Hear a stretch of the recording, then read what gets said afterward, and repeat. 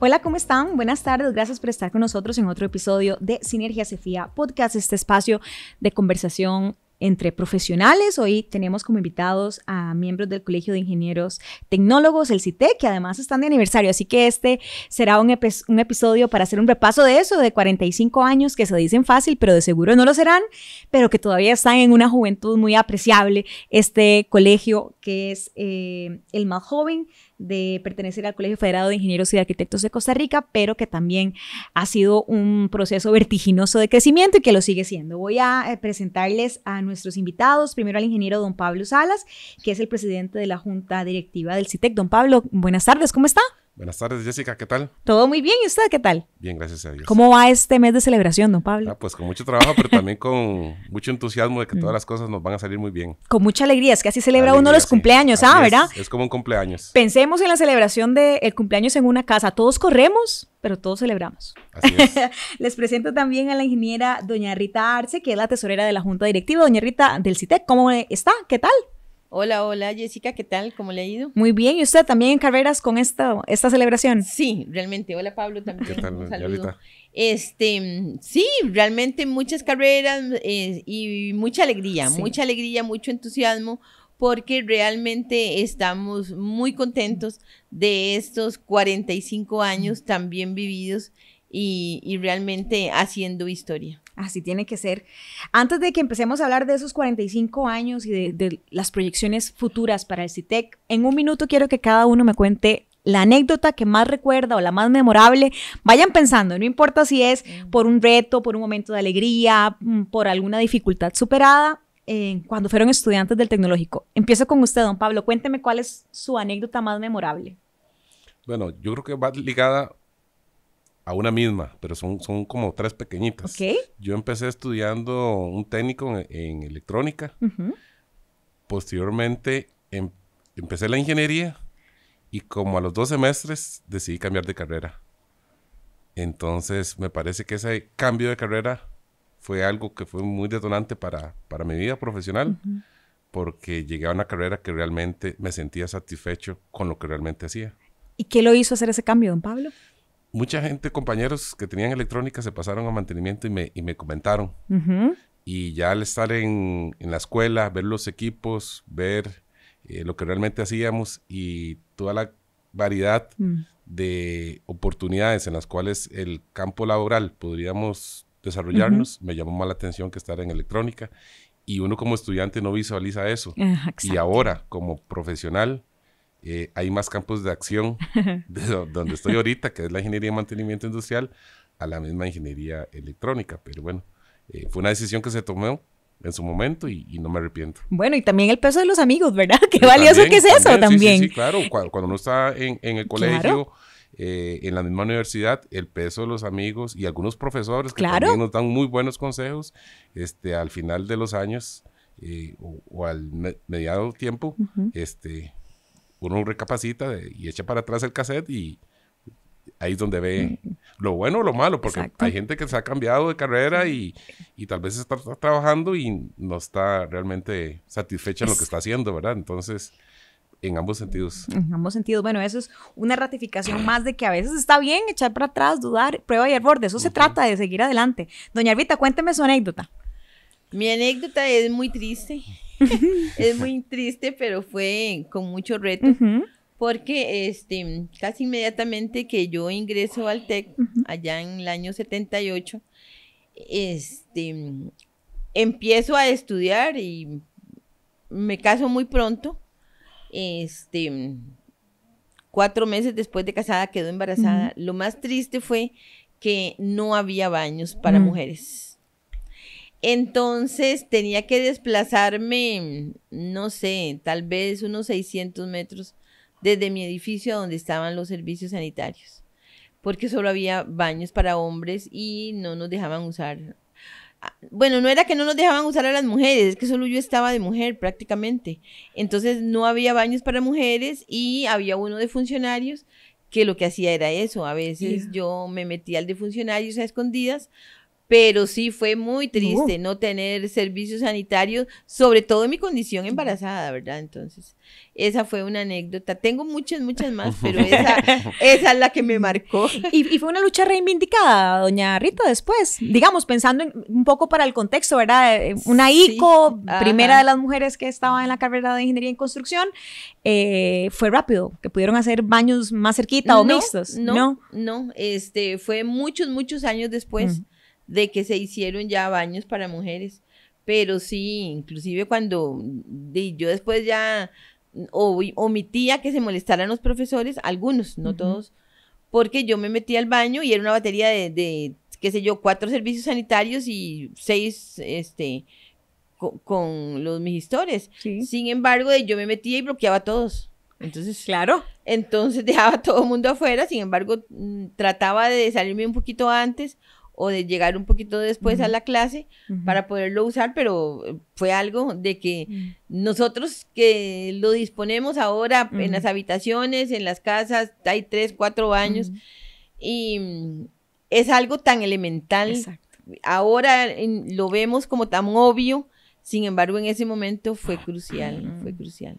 Bueno, les preguntaba, les agradezco a los dos las, las anécdotas y les preguntaba porque mm, esos 45 años se componen con los ejemplos que ustedes dan de eso, de momentos en donde ha sido necesario hacer un cambio, en donde el cambio ha sido satisfactorio, en donde quizá habrá que echar para atrás y reflexionar, y también en donde eh, ah, hubo problemas, se tuvieron que enfrentarse, atravesó sobre ellos, luchas reivindicadas, otras que, tal vez no se lograron tan pronto como se quería, pero bueno, de eso se compone también la historia de esos 45 años del CITEC. Entonces quisiera que empecemos ahí un poco, eh, que ustedes me puedan eh, hacer la reflexión de mm, estos momentos específicos o históricos que eh, tiene el CITEC en la construcción propia de su reconocimiento profesional, de su avance. Entonces empiezo quizá con, usted, don Pablo. Hablemos de esa, historia del CITEC. Claro que sí, Jessica. Yo creo que toda organización tiene su historia complicada, ¿verdad?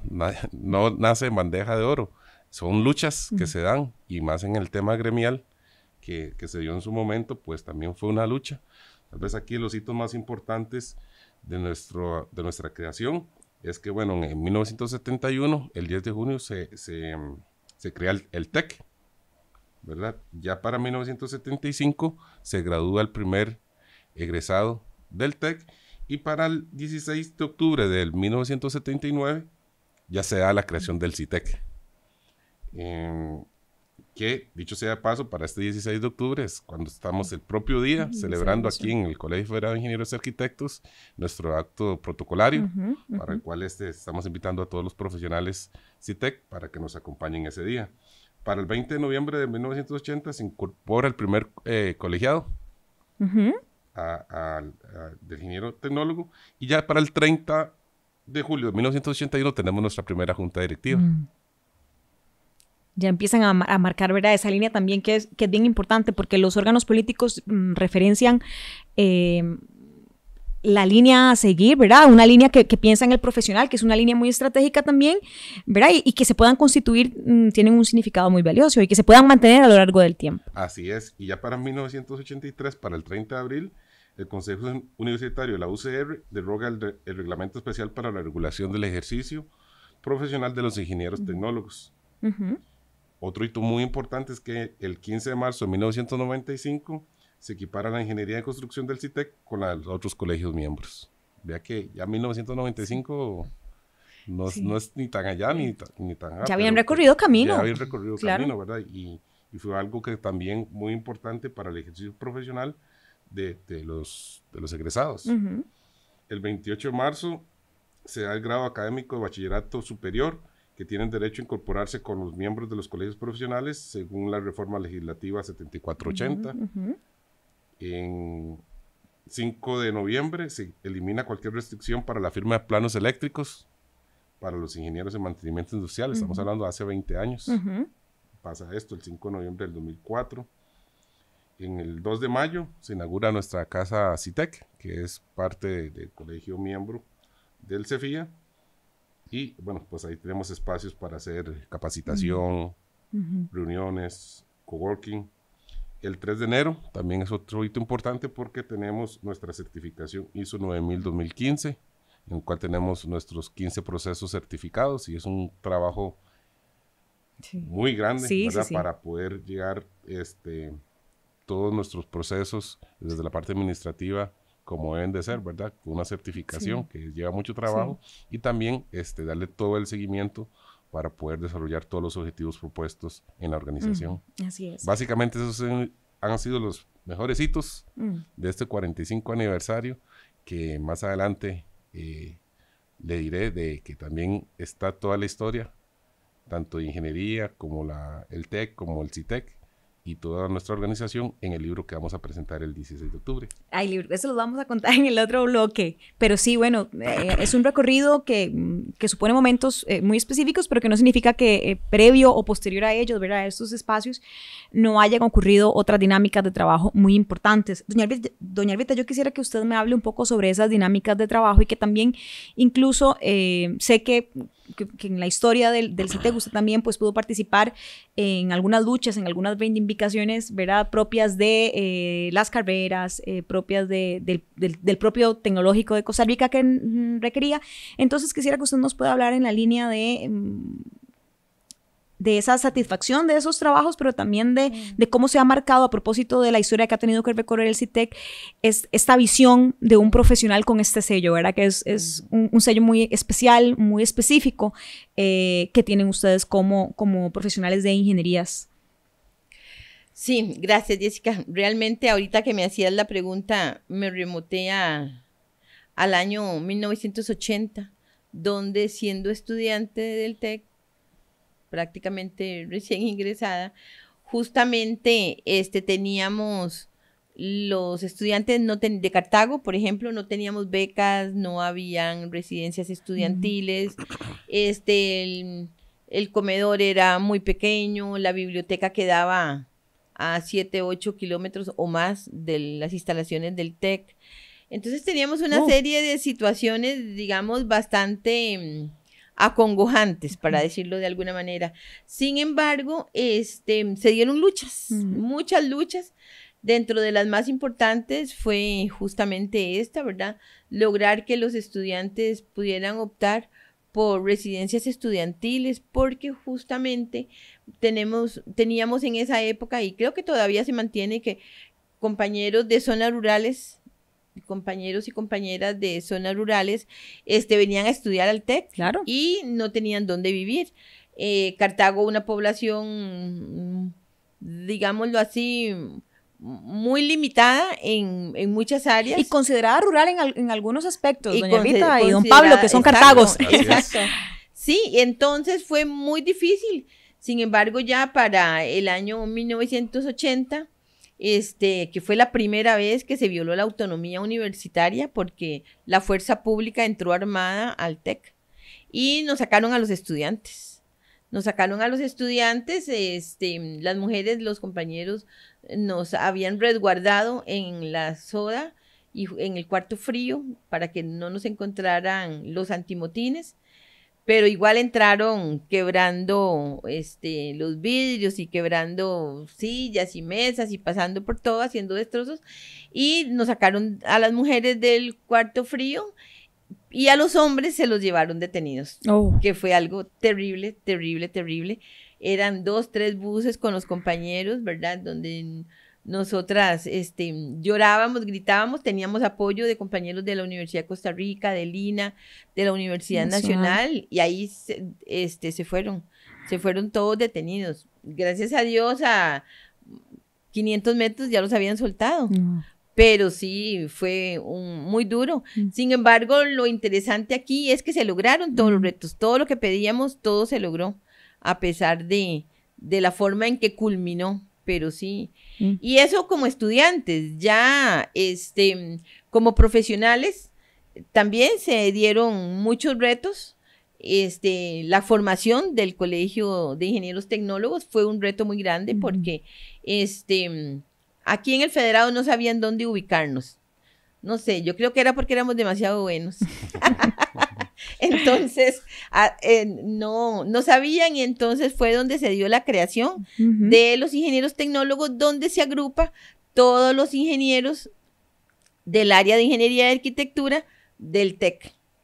Entonces, ese sello que tiene el TEC lo tenemos también nosotros. Claro, claro, bueno, es, es, es exclusivo además, ¿verdad? De ustedes, es exclusivo de, de cada uno de ustedes. Vamos a hacer una pausa y al regresar quisiera, bueno, y antes de hacer la pausa, eh, reflexiona, hacemos una reflexión, ¿verdad? Muy rápida, quienes nos están escuchando y viendo, profesionales del tecnológico o estudiantes de algunas luchas vividas en carne propia, ¿verdad? También don Pablo, doña Elvita, eh, y otras que habrá que hacer. Ya quizá no será con la fuerza física como pudo haber sido en ese momento, pero sí es cierto que eh, hay otros, otros elementos eh, que se pueden utilizar en este momento para seguir haciendo un, un mejor tecnológico y un mejor CITEC, que es precisamente en lo que han trabajado ustedes. Vamos a hacer la pausa y vamos a seguir eh, conversando sobre este 45 aniversario del tecnológico, del CITEC, perdón. Vamos a hacer la pausa y vamos a regresar para seguir conversando sobre este 45 aniversario del CITEC. Bienvenidos a Casa CITEC. Casa CITEC cuenta con espacios ideales para el desarrollo de sus negocios y formación continua. Posee un aula de capacitación Aula Azul. Contamos con tres salas de reunión. Además disponemos de espacios de coworking. Poseen facilidades para el éxito de su actividad. Casa Citec es grandes negocios, conocimiento y productividad. Contáctenos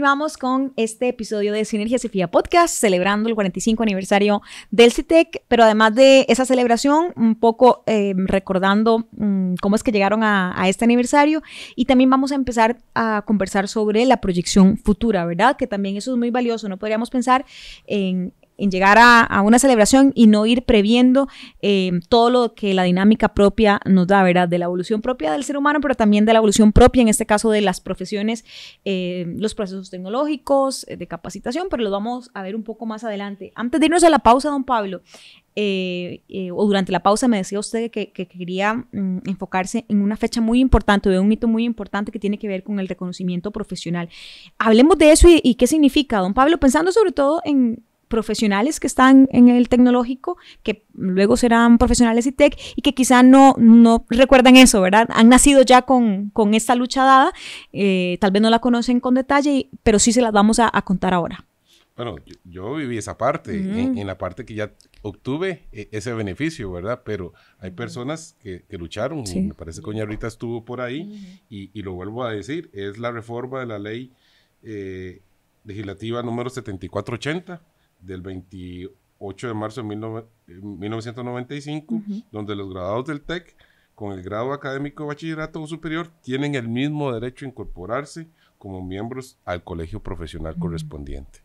Qué diferencia, ¿verdad? Yo creo que ustedes dos tal vez nos pueden retratar eso, ¿verdad, don Pablo? Usted ya venía con ese derecho. Exacto. Ya venía con ese derecho. Es cuando, cuando hablamos, por ejemplo, ahora en la pausa de, de ¿verdad? De cómo a veces eh, Mm, al no conocer eh, todo el proceso que, que, se avanza para algo, damos un derecho por algo que se debe agotar al máximo, como las cédulas, por es, ejemplo. Es un derecho adquirido. Exactamente. Sin, sin ninguna lucha. Sin, nacimos con eso, pero no podríamos desmeritarlo por eso, por eso mismo, jamás. Jamás, doña Arvita, ¿y cómo fue esa otra parte, verdad? No haber nacido con ese derecho eh, profesionalmente hablando, ¿verdad? Claro, porque eh, Jessica, efectivamente, y Pablo, este, fue una lucha muy dura, fue una lucha muy dura porque al principio este, de la incorporación aquí al CEFIA no, no querían que nosotros los egresados del tecnológico perteneciéramos a este colegio. Y resulta que entonces, este, en el año 95, cuando salimos, digámoslo así, salimos con una, con una muletilla ahí, uh -huh. que, no nos, que no podíamos ejercer. ¿Qué significaba en ese momento no poder ejercer? Bueno, no podíamos hacer diseño. Diseño de obra de infraestructura a nivel de planos y, estas otras, no solo los ingenieros en construcción, sino los de mantenimiento y también los de producción. Entonces fue una lucha, digamos, que se dio muy importante porque la muletilla que teníamos estaba puesta en la ley orgánica del tecnológico, artículos 7 y 8. Entonces, lo que debíamos hacer era reformar esos dos artículos y este para quitarnos esa muletilla para darnos ya el derecho a poder ejercer libremente con toda la preparación académica que todo el mundo conoce como son la preparación académica de los egresados del TEC. Entonces, este, se dio esa lucha, costó mucho porque inclusive el mismo rector del tecnológico de ese momento decía que él no quería meterse en eso porque él no quería que la gente supiera, que la ciudadanía supiera que mm, los egresados del TEC no podíamos firmar planos, no podíamos hacer diseño. Entonces, que él prefería que se quedara todo así. Nosotros dijimos no. Y dimos la lucha a pesar de que en ese momento no tuvimos el apoyo del tecnológico ni parecido a como lo tenemos hoy, ¿verdad? Que tenemos un apoyo total de, de las autoridades del tecnológico. Este, mm, nos dimos a la tarea de convencer a 57 diputados, donde la mayoría votó a favor de, de la reforma a la ley, donde se los oponían, había marchas, había este mucha gente opinando en la radio, en la televisión, para que no se, no se eliminaran esos dos artículos. Uno se eliminó y el otro se transformó, donde ya quedamos, este, donde ya quedábamos con el pleno ejercicio del profesional.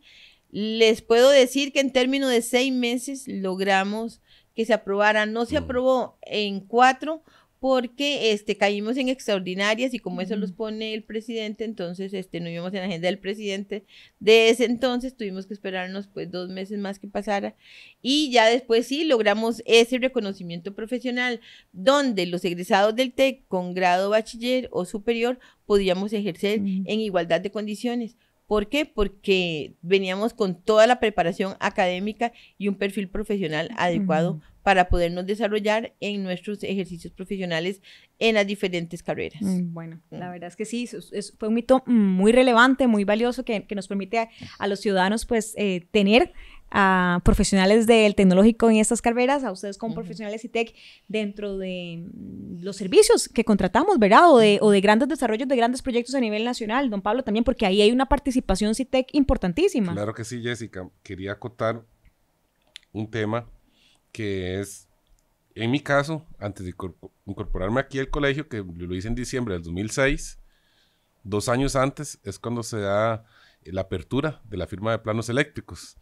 Entonces, viéndolo ya después, con el tiempo, el pasar del tiempo, y bueno, muchos profesionales que también nos observan, y los estudiantes que están ahorita, lo que hablábamos, esos derechos adquiridos. Yo me incorporé y tal vez recuerdo que nos habían mencionado sobre la firma de planos eléctricos, pero tal vez algunas clases ahí nos habían mencionado, pero ya con el paso del tiempo, el dimensionamiento y la importancia que eso tiene es realmente importante. Y aquí, ¿quién queremos dar gracias? Bueno, pues todas las personas que trabajaron anteriormente, las juntas directivas, a lo largo de estos 45 años, pues tuvieron que hacer grandes aportes a todos estos hitos que, se, que se dieron, al igual que las acreditaciones en su momento, ¿verdad? Entonces, todos estos hitos eh, están muy bien redactados en, el libro que... Hábleme del libro, ese le iba a preguntar. Hay dos, pero hábleme usted de este libro, don Pablo, que además quedan en el marco de esta celebración, ¿verdad? Así es, el día 16 de octubre a los participantes que estarán acompañándonos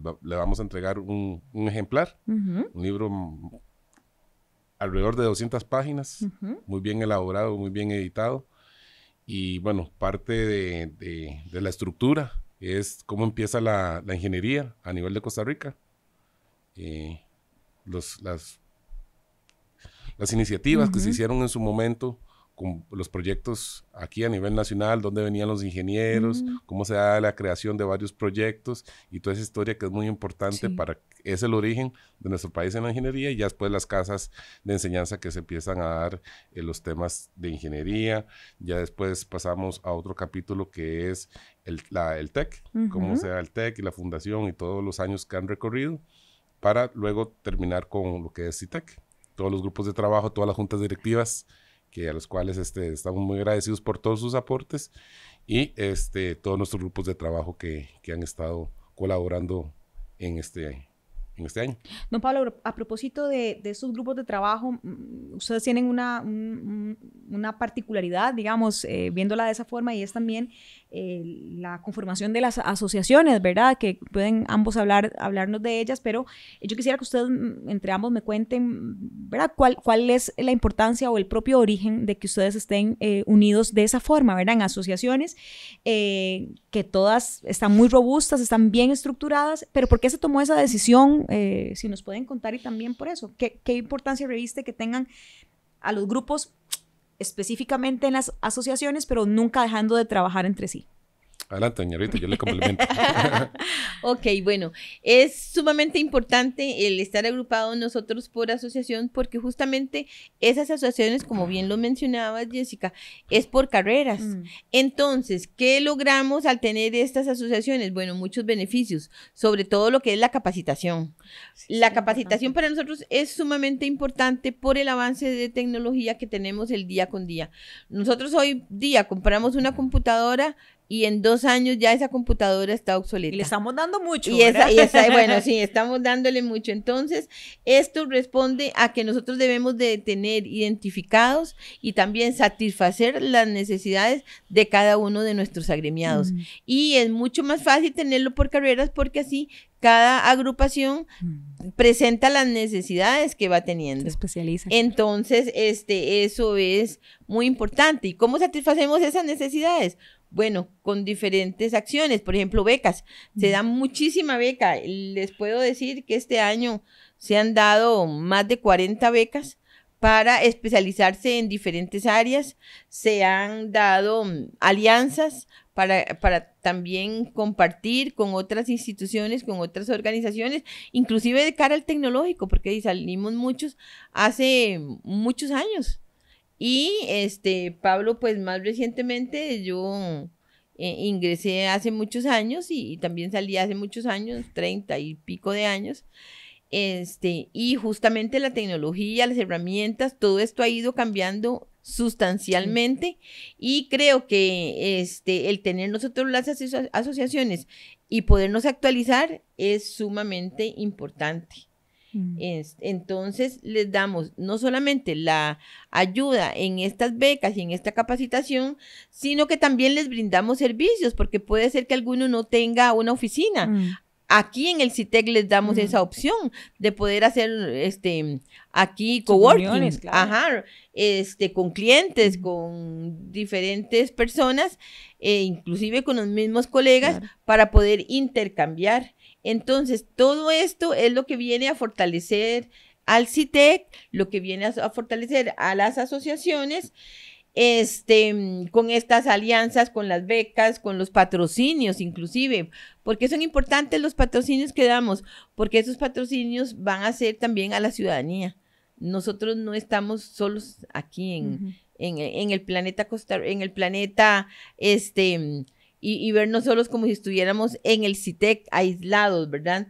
Entonces, ¿a quién le damos patrocinios? Bueno, damos patrocinios a eh, organizaciones estudiantiles, este, a fin de año hacemos actividades donde se cobra una cuota simbólica y esa cuota simbólica toda es donada a alguna institución este, con algún tipo de necesidad. Participamos este, en muchos encuentros de la línea STEM, para niñas y niños, especialmente para niñas. les puedo decir que eh, damos inclusive algunas regalías, obsequios, jarras, gorras, camisetas. De eso se han dado en, este año, se dieron más de 1.200. Entonces son muchos los servicios y mucho lo que damos en el CITEC. De ahí la importancia de incorporarnos. Tenemos también con mutualidad el plan salud. Entonces, tratamos de abarcar todas las áreas, la salud, la capacitación, el, que el agremiado pueda disfrutar con sus familias. recientemente tuvimos un evento muy importante de siembra de árboles. Sembramos más de 800 árboles este, y tuvimos la participación de más de 100 personas este, en esta actividad y justamente haciendo algo también por el ambiente pensando en el cambio climático. Tal, vez para complementar, Jessica, doña Rita, bueno, la organización como tal, CITEC, tiene ocho asociaciones actualmente. ASIC, que eh, acaba de cumplir su 35 aniversario. Posteriormente, bueno, son los ingenieros en construcción, ASIMA, que somos los ingenieros en mantenimiento industrial, 33 eh, años, Asoelectrónica, que anda para arriba de 20 años, ya después viene ASISLA, que es la Asociación Costarricense de Ingenieros en Seguridad eh, Laboral e Higiene Ambiental, ASIPI, Asociación Costarricense de Producción Industrial, AFCIAN, que son los ingenieros ambientales, APIATEC, los ingenieros agrícolas, y así los ingenieros en diseño industrial. Entonces, así como los fui mencionando, así han venido creándose. Eh, tenemos más ingenierías, hay unas muy recientes como física, mecatrónica, que recientemente se están incorporando y bueno, más adelante posiblemente tengan este, una comisión o una asociación. Su propia asociación, claro. O su propia asociación. ¿Qué, la, ¿Qué es la ventaja de la asociación? Bueno, tiene una junta directiva, la que está conformada por, por ingenieros de esa rama, tienen un presupuesto mm. Ordinario y extraordinario para realizar todas esas actividades que nos comentaba doña Rita. Y también CITEC tiene 16 comisiones, a las cuales hay muy puntuales, en las cuales aporta hacia el CEFIA también en temas de ingeniería. Están, están muy bien organizados y, y incluso a veces, ¿verdad? Esa posibilidad de que estén eh, separados por, por, por carrera, mm, por criterios técnicos, hace que, claro, por asociación, hace que cuando haya alguna mejora que hacer o haya un proyecto que impulsar, está tan específico que ya ver el proceso se pudo avanzar lo más posible y llega algo muy finito, ya muy depurado, hasta la junta directiva del colegio para que pueda avanzar o hasta el equipo administrativo del CITEC para que pueda avanzar de una forma muy rápida. Así que eso es muy valioso. Yo quisiera también ya hacia el cierre Em, destacar algo eh, del, del CITEC también a través de sus asociaciones que tiene que ver con los premios o el reconocimiento a profesionales, a estudiantes que hacen sus proyectos, ¿verdad? Ya para, para graduarse. Eh, y que los reta, don Pablo, de hace este año recientemente una asociación, usted me recordará eh, cuál fue eso, eh, su premiación, y, y, uno ve a los profesionales realmente con un sello distinto, comprometidos, siendo realmente muy innovadores, pensando cómo utilizar otras energías, cómo mejorar procesos presupuestarios, cómo mejorar procesos administrativos, operativos. esa también ha sido una estrategia mm, valiosa, empezar a mm, permear eh, al profesional que está en formación para que cuando ya esté en su proceso de ejercicio profesional mm, tenga una, no, un panorama tan cerrado, sino que pueda ver el bosque y no el árbol, ¿verdad, eh, don Pablo? Quería comentarle antes un tema que es que todas estas juntas directivas, todas estas comisiones, todos esos aportes es trabajo voluntario de nuestros agremiados, ¿verdad? CITEC actualmente tiene 4.300 agremiados, 75% eh, hombres, 25% mujeres, queremos más mujeres en, en, en, la participación de que estudien ingeniería y bueno, se está haciendo un gran trabajo de parte de CITEC y del CEFIA haciendo eh, muchas capacitaciones y actividades en escuelas y colegios para que los niños le pierdan ese miedo a las ingenierías, ¿verdad? Que a veces es transmitido por los maestros o por los mismos eh, familiares, ¿verdad? Entonces, eh, quiero dar un mensaje también de que, de que si tenemos habilidades para desarrollar en temas de, ingeniería, matemáticas, ciencias, este, perdámosle ese miedo, porque todo se, se limitan, eh, el cerebro se limita y realmente aprender eh, estos temas es muy interesante y son carreras muy sociales a las cuales damos mucho aporte a, nuestra sociedad, ¿verdad?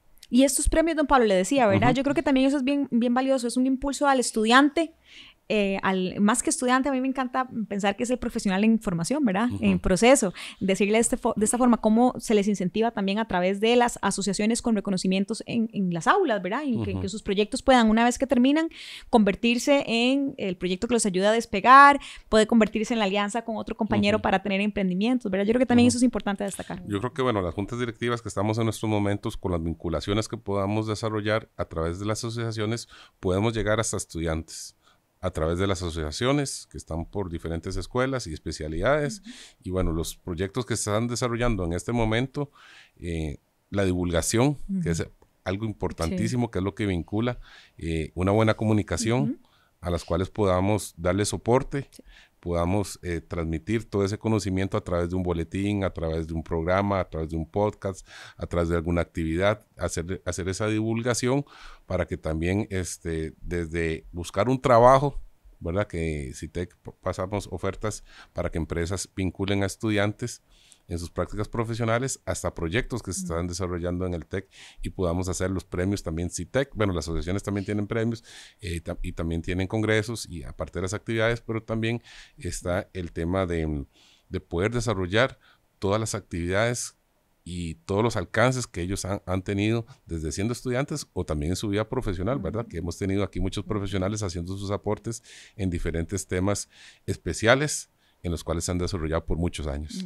Bien, ya estamos en el cierre del programa, se nos fue muy rápido, quedamos, siempre quedamos cortos, pero vamos a hacer más espacio. Yo quisiera que ya en este último minutito cada uno eh, pues pueda hacer un cierre. Eh, quisiera, em, doña Arbita, que le, que le, pueda brindar un mensaje a los estudiantes del tecnológico, pero también a los profesionales, eh, CITEC, que, que, son muy activos en, en, su colegio y a quienes tal vez em, por distintas razones andan ¿verdad? un poquillo más apretados de agenda, pues que también se puedan vincular a, las, a, las, actividades del CITEC. ¿Cuál es el mensaje en este mes de aniversario? Porque todavía mm, no es solamente hoy celebrando, sino es todo lo que queda del mes. No, muchísimas gracias, Jessica. Pues justamente que eh, en el momento en que usted me lo estaba preguntando, estaba pensando eh, justamente qué mensaje darle a la ciudadanía, a esos jóvenes que están en la escuela, en el colegio, algunos ya a punto de graduarse y pensando en qué carrera estudiar o qué hacer, pues yo lo que les digo es que se esfuercen mucho para que puedan entrar al TEC, este, realmente estudiar en el TEC. Ahora ya hay baños para hombres, para mujeres, ¿verdad? Ya, ya, hay, la biblioteca queda ahí, es una de las mayores tecnologías, 2.0, etcétera. Eh, eh, entonces ya tenemos todas las condiciones para recibirlos a ustedes jóvenes que están ahí en sus casas este, pensando qué van a hacer, pues les digo, el TEC es la mejor opción para que ustedes puedan este, obtener una carrera STEM, que son las carreras del futuro. ¿Por qué del futuro? Porque son las que van a sacar adelante a Costa Rica y este, realmente el TEC brinda todos los beneficios para que ustedes puedan salir adelante. Y de cara a los compañeros que ya se graduaron y que ya y que no están incorporados al CITEC, creo que es sumamente importante que sepan cuáles son los beneficios que se tienen. Por ejemplo, contamos con un plan estratégico que ya se está finalizando. Vamos a continuar procesos de actualización. Tenemos acciones justamente para emitir a la normativa, o sea, esa normativa cambiante. También reforzamos este, la, la, incorporación de los profesionales con beneficios. Entonces, toda esta parte nosotros tenemos, que tenemos aquí en el CITEC, por ejemplo, somos el único colegio del federado que cuenta con la certificación de ISO 9000 actualizada y obtenida este todavía y ratificada hace, hace unos meses. Este, contamos con el galardón de bandera azul. Este año obtuvimos dos estrellas eh, en nuestro primer año, segundo año. Entonces son todas estas cosas eh, eh, y esa vinculación con nuestra alma mater. ¿Por qué necesitamos esa vinculación? Porque justamente aquí es donde nosotros seguimos poniéndonos no solo un sello, sino dos y tres de esa calidad tech que nos permite desarrollar actividades conjuntos, no solo de capacitación, sino también de involucramiento con la, con la sociedad. Y sobre todo también queremos compañeros que están en zonas rurales este, acercarse al CITEC y si no, también créanmelo que el año pasado y este hemos llegado y vamos a continuar con esta, con esta parte de llegarles a ustedes a donde se encuentren. Entonces, son todos estos retos, todos estos beneficios que se tienen justamente al estar incorporados en el CITEC y que con nosotros no es un número, son personas, son profesionales y en el CITEC estamos para servirles. Muchísimas gracias, doña Elvita, y muchísimas felicidades también. Esos 45 años también están incluidos en, su historia y usted en la historia del CITEC. Don Pablo, también ahora su mensaje eh, final y reitero también para usted eh, esa felicitación porque usted es parte de este cumpleaños. Muchas gracias, Jessica. Yo creo que nuestra junta directiva, como las juntas anteriores, pues han tenido la visión que es representar con excelencia y prestigio los profesionales de ingenierías del TEC, con todos los aportes que brindamos a la sociedad. Entonces, bajo esa visión es que esta estructura se ha mantenido trabajando y bueno, que quiero también comentar que semanas atrás tuve una visita al TEC. Eh, anteriormente fui representante eh, de egresados en la escuela eh, de electromecánica, pero ya pude en esta visita hacer un recorrido por varias escuelas y realmente comentar de que la infraestructura de los últimos edificios que se han construido y el equipamiento de todos los laboratorios, que es algo importantísimo, complementando con la educación continua que tienen los profesores en posgrados, que también son inversiones que salen del FES, ¿verdad? Inversiones también a largo plazo del BID, son las herramientas necesarias de, de, nuestra, de nuestra alma mater para poder desarrollar e incorporar nuevos profesionales a nuestra sociedad. Entonces, ese tema es fundamental, ¿verdad? Porque como son las patas del banco, esa es una de las patas más importantes, eh, fundamentales en, el desarrollo. Y bueno, ya después eh, el mismo mercado va absorbiendo a los profesionales cuando ya se egresan. Entonces, quería comentar eso, que también es algo muy importante, que las, nuestro TEC se está actualizando en tecnología, ¿verdad? Porque la tecnología, como lo comentamos ahora, cambia rápidamente, evoluciona rápidamente y hay que adquirir nuevos conocimientos y bueno, tanto el personal administrativo como el personal eh, de enseñanza está adquiriendo todos esos temas y bueno, siendo la vanguardia de, de temas muy importantes para todas las carreras de ingeniería que se desarrollan en el TEC. Bueno, ese es el mensaje también de que andan ustedes aquí velando para que también, ¿verdad? Esas mejoras existan y que cada vez eh, las herramientas que tengan pues sean de mayor calidad. Don Pablo, doña Vita, muchísimas gracias por habernos acompañado y otra vez felicidades a los dos. Muchísimas gracias. Jessica, y aquí estamos a las órdenes. Muchísimas gracias. Y gracias a ustedes por habernos acompañado en este episodio de Sinergia Cefía Podcast. Felicidades también a ustedes, profesionales del el CITEC, que nos han escuchado eh, en este podcast, en esta emisión. Eh, si usted no es profesional CITEC y también lo ha escuchado, pues felicidades, porque este cumpleañero también aporta muchísimo al país, así que es momento para que celebremos todos. Gracias por habernos acompañado en este episodio. Nos estamos escuchando. Que pasen una linda tarde.